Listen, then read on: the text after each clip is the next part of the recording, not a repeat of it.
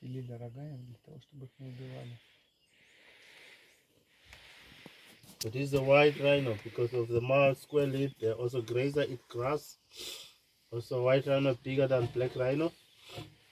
So also white rhino they got poor eyesight, they can't see far away, but good sense of smelling and hearing.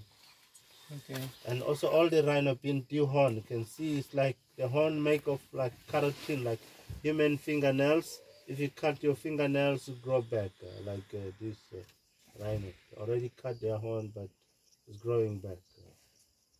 But who is cutting the corn? Uh, the Kruger people. Uh, Oh, okay.